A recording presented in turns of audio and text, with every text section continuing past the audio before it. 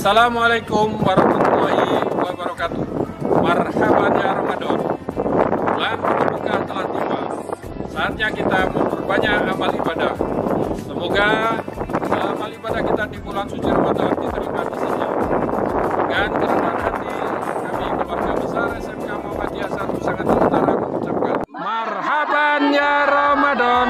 Selamat menunaikan ibadah 1444 Hijriah.